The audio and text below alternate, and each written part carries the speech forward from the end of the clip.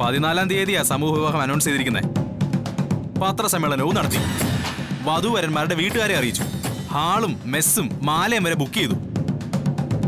ആഭരണങ്ങൾക്ക് ജ്വല്ലറികളിൽ ഓർഡറും കൊടുത്തു. അവരൊക്കെ കാശ് വെച്ച് വരുമ്പോ കൈ നിർത്തി കാട്ടിയാ മതിയോ? ആ അതും പോട്ടെ. വിവാഹ ഫംഗ്ഷന് നമ്മൾ നേരിട്ട് പോയി വിളിച്ച വി ഐ പികളോട് നമ്മൾ എന്ത് പറയും? ട്രസ്റ്റിന്റെ ട്രഷററായ സത്യാമ്മ ആരാന്റെ പണം കൈയിട്ട് വാരി അഞ്ചു കോടി മുക്കിയെന്നോ? ഗോപിനാഥ. സത്യത്തിൽ അത് തന്നെയല്ലേ സത്യമേ സംഭവിച്ചിരിക്കുന്നേ? അല്ലെന്നുണ്ടെങ്കിൽ നിങ്ങൾ പണം വയ്ക്കുക അവർ കാര്യം പറഞ്ഞില്ലേന്ന്. പിന്നെ നിങ്ങൾ ഇതെന്താ എന്ത് കാര്യം പറഞ്ഞെന്ന്? ആ പെണ്ണുപിടിയൻ ആന്റപ്പന് അഞ്ചു കോടി രൂപ എടുത്ത് കൊടുത്തെന്നോ? അങ്ങനത്തെ ന്യായമൊന്നും തുട്ടിറക്കി എൻ ആർ ഐകളുടെ മുന്നിൽ പോയി പറയാൻ പറ്റില്ല. അവരൊക്കെ വിദേശത്ത് പോയി. പണം കായ്ക്കുന്ന മരം പിടിച്ച് കുലുക്കൊന്നുമല്ല. കാറ് കഴുകുന്ന ജോലി ചെയ്യുന്നവരും ഒട്ടകത്തെ നോക്കുന്നവരും ഒക്കെ പണം അയച്ചു തന്നത് എന്ത് കണ്ടിട്ടാ? പാവപ്പെട്ട ഒരു പെൺകുട്ടിയുടെ ജീവിതമെങ്കിലും രക്ഷപ്പെടുമെന്ന് കരുതിയിട്ടാ. അവരല്പം അരിഷ്ടിച്ചിട്ടാണെങ്കിലും പണം കണ്ടെത്തുന്നത്. കെട്ടിച്ചുവിടുന്ന പെൺകുട്ടിയെ സ്വന്തം പെങ്ങന്മാരെ പോലെ അവർ കാണുന്നത്. പണം സൂക്ഷിക്കുന്നവരും കാട്ടണം ആ കരുതൽ. ആരാന്റെ പൈസ എടുത്ത് പുട്ടടിക്കരുത്. നിങ്ങൾ ഇത് എന്തൊക്കെയായി പറയുന്നത്? ഇവരെ ട്രഷറാക്കാനുള്ള തീരുമാനത്തെ? അന്ന് കമ്മിറ്റിയിൽ എതിർത്തത് ഞാൻ ഒറ്റ ഒരാൾ മാത്രമാ. എനിക്കറിയാം ഇവരുടെ സ്വഭാവം. പലിശയ്ക്ക് കൊടുത്ത് പണം പെരുപ്പിക്കുന്ന ആളല്ലേ? അസൽ ബ്ലേഡ്. അതല്ലെങ്കിൽ ചെറിയ കാശിന് പാവങ്ങളുടെ കയ്യിൽ നിന്ന് ഭൂമി വാങ്ങി കഴുത്തറുക്കുന്ന പലിശയ്ക്ക് മറിച്ചു വിൽക്കും. എവിടെ നോക്കിയാലും പണത്തിലാ കണ്ണ്. അങ്ങനെയുള്ള ഒരാളുടെ കയ്യിൽ പണപ്പെട്ടി ഏൽപ്പിച്ച എന്തായിരിക്കും അവസ്ഥ? ചക്കരക്കുടമല്ലേ? കൈയിട്ട് വാരി നക്കും.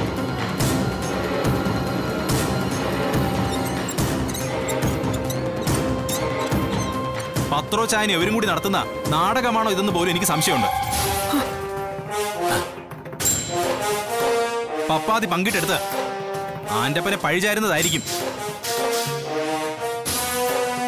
അയാൾ ഇത് അറിഞ്ഞിട്ട് പോലും ഉണ്ടാവാൻ സാധ്യതയില്ല. ഇപ്പൊ കൊച്ചുമോൾക്കും പൊടി പാറിയ ചോറൂണൊക്കെ നടത്തിയില്ലേ? അതും ആരാന്റെ ചെലവിലായിരിക്കും? വാക്കാണ് ദൈവം എന്ന് പറഞ്ഞാണല്ലോ സത്യാമേ നിങ്ങൾ നടക്കുന്നത്. അതിന് പുല്ല് വില കൊടുക്കുന്നുണ്ടെങ്കിൽ വയ്ക്ക് മൊത്തം കാശ് ഇവിടെ.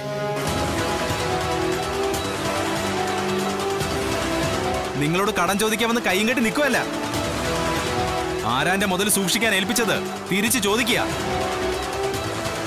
ഒരു സത്യഭാമ. ഗോപിനാഥ.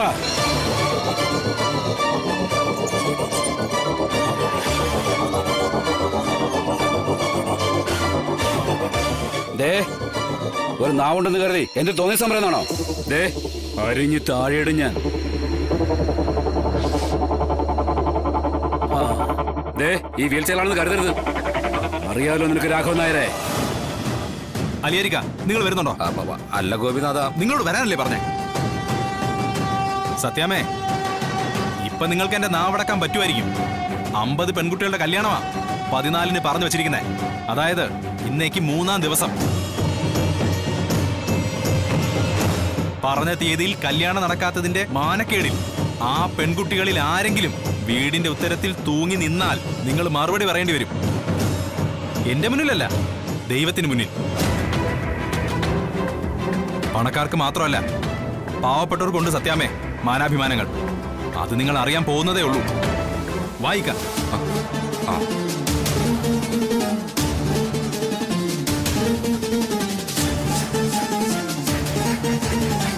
പത്രോച്ചയ ഈ വീട്ടിൽ ഇങ്ങനെ ഒരു രംഗം ആദ്യമായിട്ടാ. പണം ചോദിച്ച് വെല്ലുവിളിക്കാൻ ആരും ധൈര്യപ്പെട്ടിട്ടില്ല. പണത്തിന്റെ പേരിൽ ആരുടെ മുന്നിലും തലകുനിച്ച് നിൽക്കേണ്ടി നിൽക്കേണ്ടിയും വന്നിട്ടില്ല സത്യഭാമിക്ക് പത്രോച്ചായനെ വിശ്വസിച്ചതാ എനിക്ക് പറ്റിയ ഏറ്റവും വലിയ തെറ്റ്.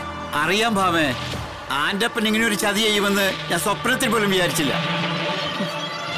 ഭാമേ. പത്രോച്ച നടന്നു നടന്നു. ഇനി ഇതിനൊരു പരിഹാരം എന്താന്ന് പത്രോച്ചാൻ പറ. അല്ല രാഘവേട്ടൻ എന്താ ഉദ്ദേശിക്കുന്നത്? പറഞ്ഞ തീയതിക്കുള്ളിൽ പണം കൊടുക്കാതിരിക്കുന്നത് മാനക്കേടാ. ആ. ആന്റപ്പന്റെ കയ്യിൽ നിന്ന് പണം സമയത്ത് കിട്ടുമെന്ന് പ്രതീക്ഷിക്കുകയും വേണ്ട. എന്നാലും ഭാമയുടെ വാക്ക് പാലിക്കണം. ഞങ്ങളെ കൊണ്ട് കൂട്ടിയാ കൂടുന്നതൊക്കെ ഞങ്ങൾ സംഘടിപ്പിക്കാം. പത്രക്ക് എത്രയാ സംഘടിപ്പിക്കാൻ പറ്റുമെന്ന് വെച്ചാൽ അതും കൂടി കൂട്ടിച്ചേർത്ത് അഞ്ചു കോടി തേക്കാം. അയ്യോ പത്തിന്റെ പൈസ ഇല്ലട്ടോ എന്റെ കയ്യിൽ. പത്രോച്ചയ? വിശ്വസിച്ചല്ലേ ഞാൻ ആന്റപ്പന് പണം കൊടുത്തത്? ആന്റപ്പൻ ആന്റപ്പനും പത്രോ പത്രോ അല്ലേ മാമേ അത് രണ്ടും രണ്ടാ. ആ ഞാൻ ആന്റപ്പനെ ഭാമയ്ക്കൊന്ന് പരിചയപ്പെടുത്തിയെന്നല്ലേ ഉള്ളൂ. പണം കൊടുക്കണോ വേണ്ടെന്നുള്ളത് ഭാമയുടെ മനോധർമ്മ. വിശ്വസിക്കാവുന്ന ആളാണെന്നൊക്കെ പറഞ്ഞിട്ട്? അങ്ങനെയൊക്കെ തന്നെയല്ലേ ഞാനും കരുതിയത്. ഇപ്പോഴല്ലേ കാര്യം മനസ്സിലായത്. ഭാമയ്ക്ക് മുഷൊന്നും തോന്നരുത് കൂപ്പിലേലോ ലോഡും ഒക്കെ ആയിട്ട് ഞാൻ ആകെ നടു ഒടിഞ്ഞിരിക്കുക അതിനിടയ്ക്ക് നാലഞ്ച് ലോറിയും ജെ സി ബിയും വാങ്ങിച്ചു. അതിനിടയ്ക്ക് ആരാന്റെ പിള്ളേരെ കെട്ടിക്കാൻ? എന്റെ കയ്യിലിടുന്ന പാമേ കാശ്. ആ, മറ്റൊന്നും പറയാനില്ലെങ്കിൽ ഞാൻ ഇറങ്ങുക ഭാമേ. മില്ലിൽ നോക്കാൻ ആളില്ലാത്ത ദിവസ. അപ്പൊ ശരിയാകട്ടെ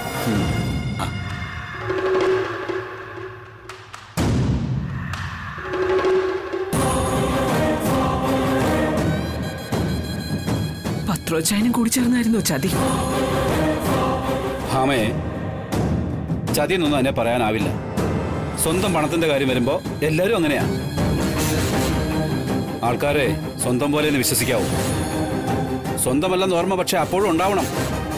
എനിക്ക് തെറ്റുപറ്റി രാഘവേട്ട. രാഘവേട്ടൻ അന്ന് എന്നോട് പറഞ്ഞതാ. അത് സാരമില്ല. ഇനി പറഞ്ഞിട്ട് കാര്യമില്ലല്ലോ. പോട്ടെ.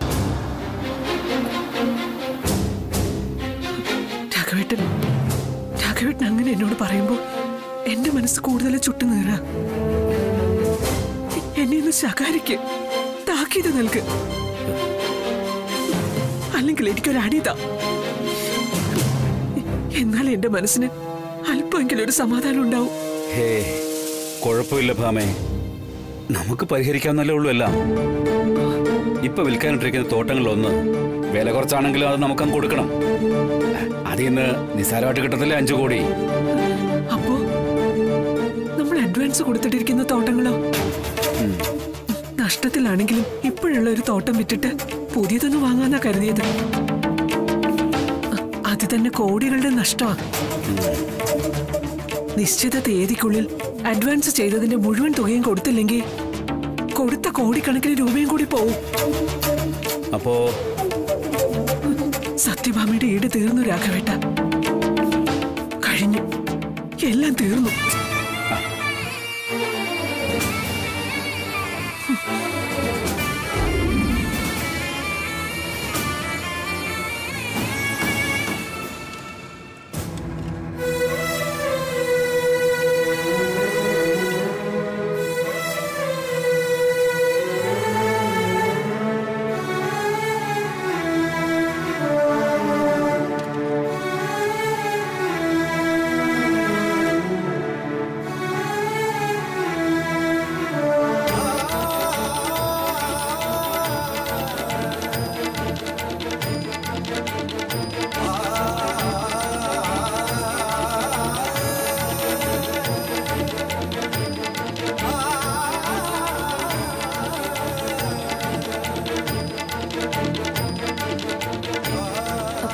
വിഷ്ണുവേട്ടാ?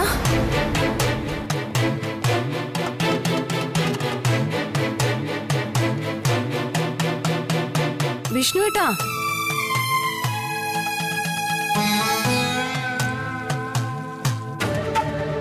വിഷ്ണുവേട്ടാ ആ കുറുക്കൊന്ന് നോക്കിക്കോണേ. പിന്നെ ഇളം ചൂടുവെള്ളം ഉണ്ടാക്കി ബാത്റൂമിൽ വെച്ചിട്ടുണ്ട്. പാറുവിന് ചെറിയൊരു പനിക്കുള്ളുണ്ടായിരുന്നല്ലോ എന്നാലും ദേഹം ഒന്നും തുടക്കാതെ ഇപ്പൊ എങ്ങനാ? താനിത്.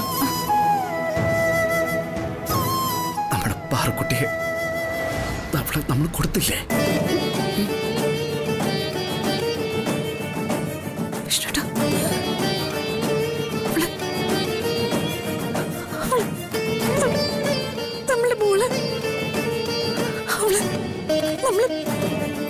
ഉപേക്ഷിച്ച് കളഞ്ഞല്ലോ വിഷ്ണുട്ടാ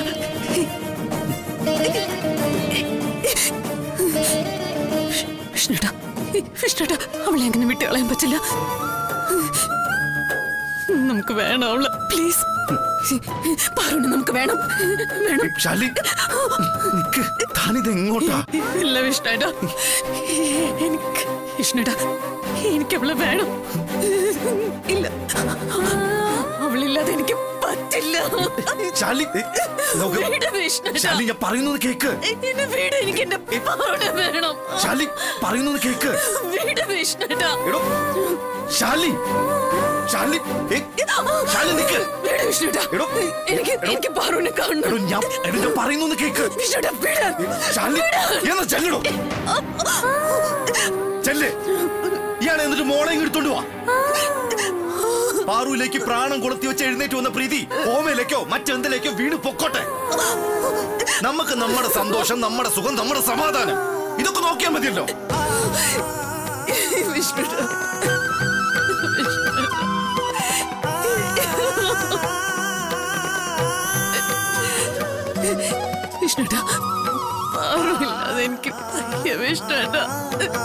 എനിക്ക് പ്ലീസ് എനിക്ക് ഭ്രാന്ത് പിടിച്ച് പോ നോക്ക്. പാറു നമ്മളെ തല്ല. എടി അവൾക്ക് വേറെ തന്തി തള്ളിയൊക്കെ ഉണ്ട്. ഇതിന്റെ ഇടയിൽ ഇരുട്ടത്ത് നമ്മൾ പകച്ചു നിന്നപ്പോ ഒരു മിന്നാമിനികിന്റെ നുറുകുവട്ടം പോലെ ദൈവം നമുക്ക് ഒരു അനുഗ്രഹം. അത്രേ കരുതാവൂ. അത്രേ കരുതാവും പാടുള്ളൂ. മനസ്സിലായോ? ബാക്കിയൊക്കെ അതിമോഹമായി പോകും. എടോ എനിക്കറിയാം. പറയുന്ന പോലെ എളുപ്പമല്ല മനസ്സത് അംഗീകരിക്കാൻ. എടോ നമുക്ക് മുമ്പിൽ വേറെ വഴിയില്ല മോളെ.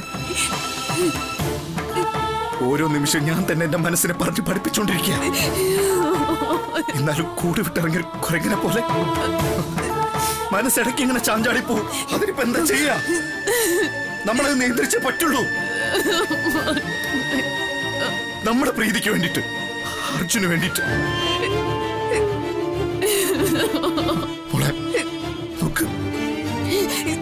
വേദനയുടെ കൈപ്പിന്നിര് നമുക്ക് തന്നെ കുടിച്ചെടുക്കാം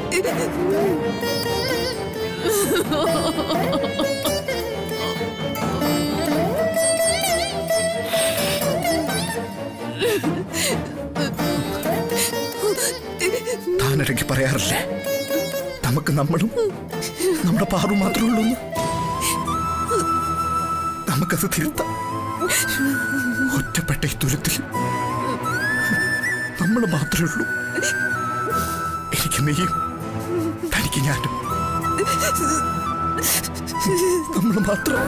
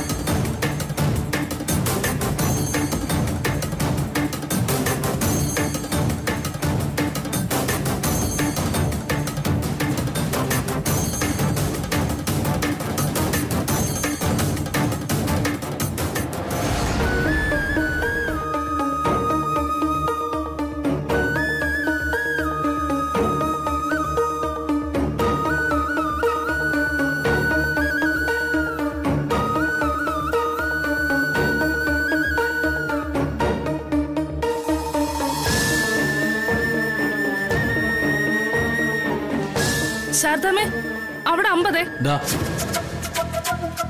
ബാക്കി. ദേ ഇതിന്റെ ബാക്കി. ശാരദാമേ ഇത് ഏത് ലോകത്താ? എന്താ?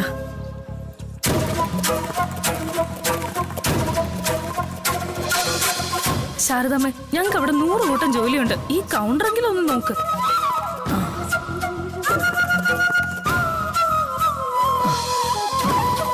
എന്താ ശാരദാമ്മേ? മനസ്സെവിടെയെങ്കിലും അല്ലേ ഏയ് ഞാനിങ്ങനെ ഓരോന്ന് ആലോചിച്ചിരിക്കായിരുന്നു സാറേ.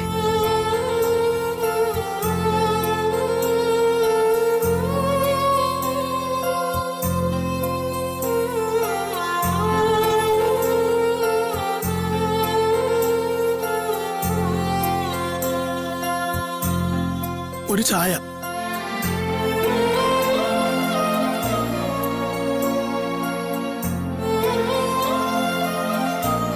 പത്തൊമ്പത് വർഷം മുമ്പ് ഞാൻ ഇങ്ങോട്ട് കയറി വന്നതും അതുപോലൊരു ഓലപ്പരയിന്ന് കച്ചവടം തുടങ്ങിയതൊക്കെ ഓർക്കുകയായിരുന്നു അന്നതേ ഇത്ര ഉണ്ടായിരുന്നുള്ളൂ ശാരി. ഇന്ന് അവളും അതേ വളപ്പിൽ അതുപോലൊരു ഹോട്ടൽ കെട്ടിപ്പൊക്കാൻ മാത്രം വളർന്നല്ലോ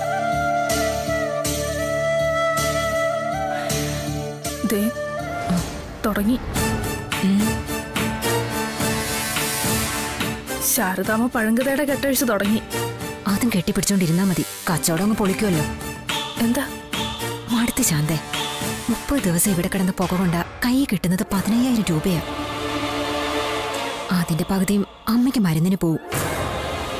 അന്നന്നത്തെ ചെലവും കൂടെ കഴിഞ്ഞ മാസം അവസാനം ഒരു രൂപയില്ല എടുക്കാനായിട്ട്.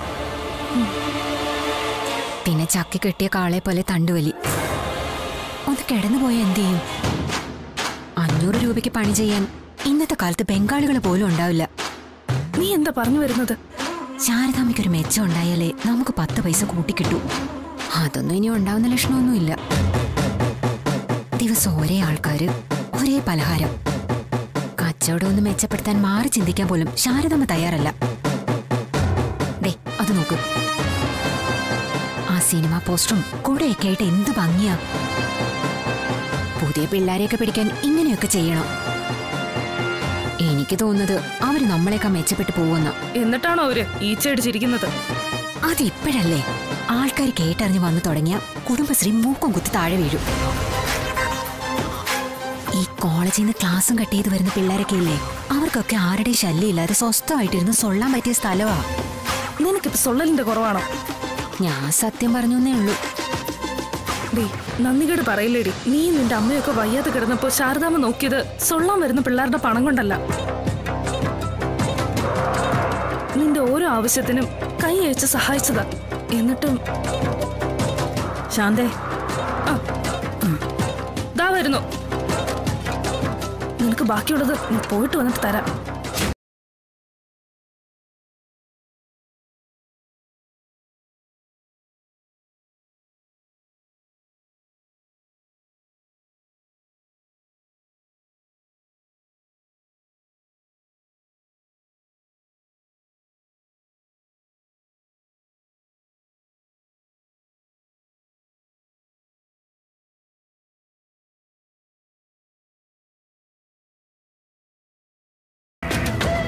ശങ്കരേട്ടാ. ശങ്കരേട്ടന് ഒരു ഉപകാരം ചെയ്യണം. എന്താ ശാരദാമ്മേ ആ, ശങ്കരേട്ടൻ ഇന്ന് ഹൃദയശ്രീന്ന് ഭക്ഷണം കഴിക്കും. ശരതാമേ ശങ്കരേട്ടൻ ഞാൻ പറഞ്ഞ പോലെ ചെയ്യണം. അത് വേണോ ശരതാമേ അവളിവിടെ ഒരു ഹോട്ടൽ തുറന്നു വെച്ചിരിക്കുകയല്ലേ ശങ്കരേട്ടാ. ഭക്ഷണം ഉണ്ടാക്കിയിട്ട് കഴിക്കാൻ ആൾ വരാതിരുന്നാലുള്ള സങ്കടം അത് പാചകക്കാർക്ക് മനസ്സിലാവും. ശങ്കരേട്ടൻ ഒരാളെങ്കിലും ഒന്ന് അവിടെ ചെല്ലും. ശങ്കരേട്ടനോടല്ലേ എനിക്ക് പറയാൻ പറ്റൂ? കാര്യമൊക്കെ ശരിയാ. ഞാനിവിടെ പറ്റല്ലേ ശാരദാമേ അതുമല്ല കാശൊന്നും എടുത്തിട്ടില്ല അതൊക്കെ നമുക്ക് ശരിയാക്കാം ശങ്കരേട്ടാ. ശങ്കരേട്ട ഇവിടെ നിൽക്കേ ഞാൻ ഇപ്പൊ വരാം.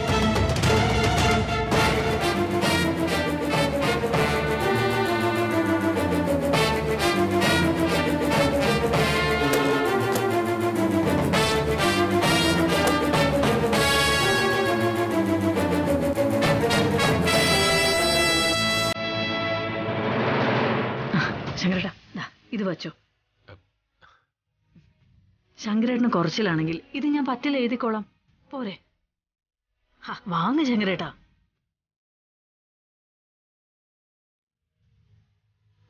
ശരി.